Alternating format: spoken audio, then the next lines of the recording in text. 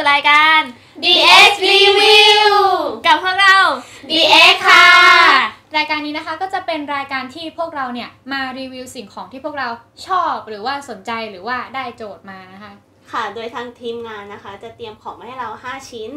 แล้วพวกเราก็จะไม่รู้ว่ามันคืออะไรมาก่อน ก็คือเหมือนเป็นการทดสอบสกิลการแถของเรานั่นเองนะคะค่ะก็กฎของเรานะคะ ก็อย่างที่บอกไปว่า พวกเราเนี่ยก็ไม่รู้ว่าเราจะสุ่มได้ของอะไรบ้าง แล้วเราจะทำการสุ่มโดยหมุนวงล้อมหาภัยนะคะก็ข้ออีกกฎอีกข้อหนึงนะคะ ก็คือ ใช้เวลาไม่เกิน 5 นาทีค่ะหานาที โอเค งั้นเราไปดูไปดูกันเลยดีกว่า ไปไป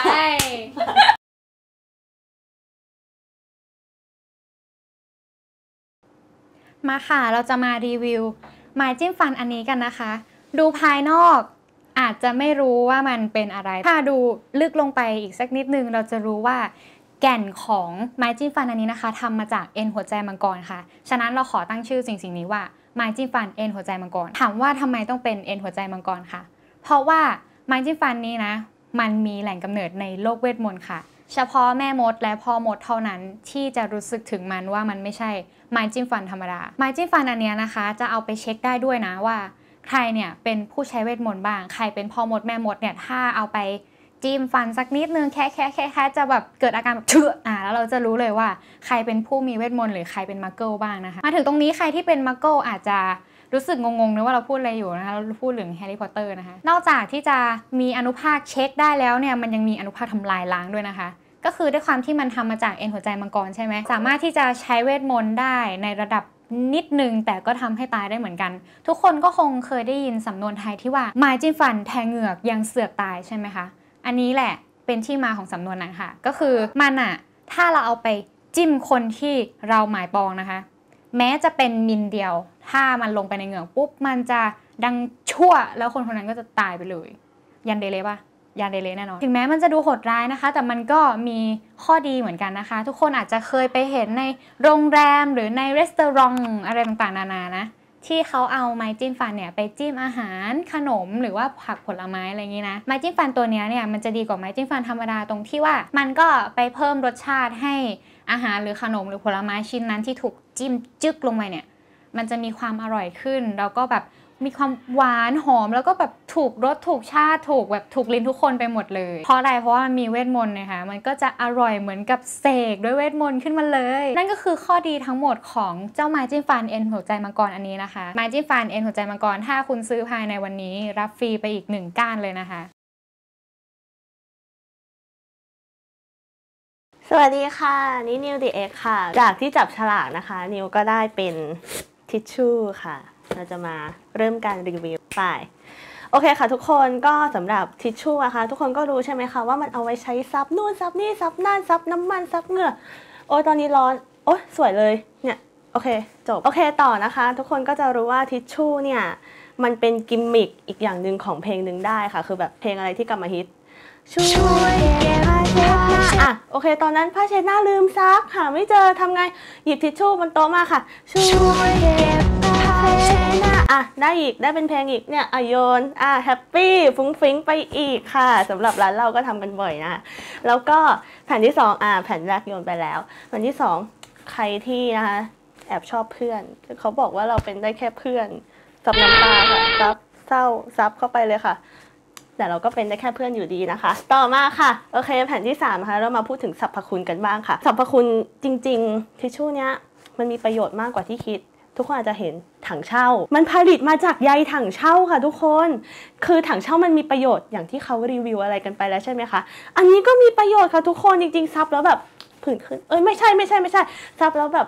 หน้าใสสวยเลยค่ะทุกคนเนี่ยก็ดูเอานะคะ อันนี้คือตัดมาแผ่นสั้นๆนะคะ จริง ๆ มันยาว 2 เมตรคูณ3เมตรค่ะ อันนั้นแผ่นละบาท อันนี้ก็เออฟรีให้ฟรีเลยค่ะ ทุกคนเอาไปเลยค่ะ ขอจบการรีวิวแล้วกันนะคะ ทุกคนก็ พิจารณาหาซื้อกันเองนะคะ ขอบคุณค่ะ บ๊ายบายค่ะ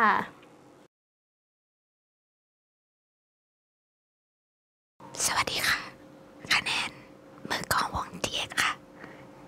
ก็จากภารกิจนะคะที่ให้เราไปทำรีวิวกัน เราได้เป็นอาหารเอ่อชนิดหนึ่งที่แบบว่า เสียงมันแบบเสียงมันดัง แล้วแบบเออ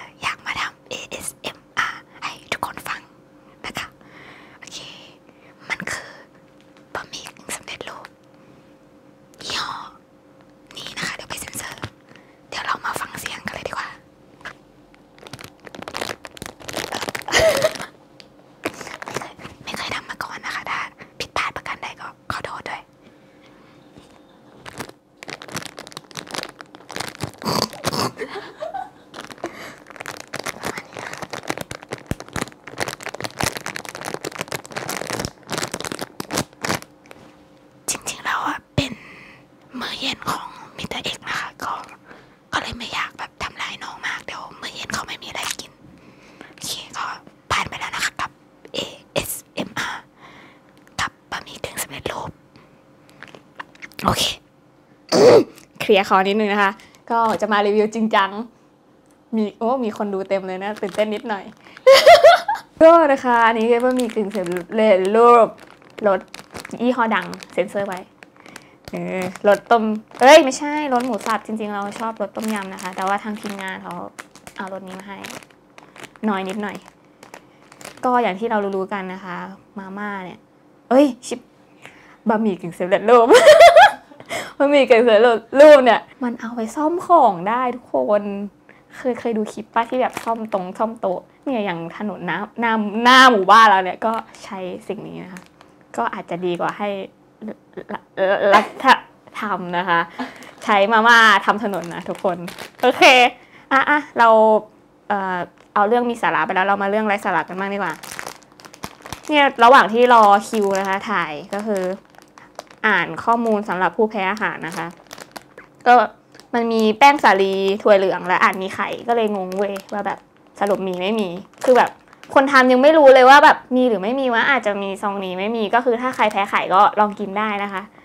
ก็คือจะได้รู้ว่าแบบ เอ้ยตัวเองแพ้ไม่แพ้จากสิ่งนี้นะเออ ก็คือเป็นตัวช่วยแบบวัดคุณภาพสินค้าของเราโอเคนะคะ ก็กี่นาทีแล้วคิดว่าน่าจะพอหรือเปล่า ก็จบแล้วนะคะ สวัสดีค่ะ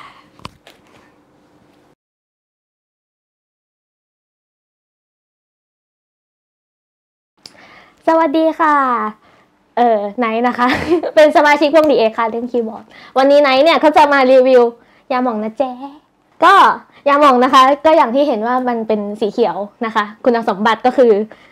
เนี่ยเด่นมากเลยสีเขียวเนี่ยเด่นมาก หาอะไรไม่เจอหายาหม่องเจอก่อนอันแรกเลยนะคะ แล้วก็เราก็มีสรรพคุณเนาะก็จะเป็นสรรพคุณแบบยาหม่องทั่วไปก็วิงเวียนศีรษะเออแมลงสัตว์กัดต่อยอะไรอย่างนี้นะคะ ก็มามาลอง ก็ให้มันทาแมลงสัตว์กัดต่อยอย่างเดียวก็พอค่ะ ส่วนผสมของเรานะคะ เราก็จะมีอะไรเนี่ยใบเสลดพังพรตัวผู้กับใบเสลดพังพรตัวเมียนะคะ ถามว่ามันแตกต่างกันยังไงนะเหรอ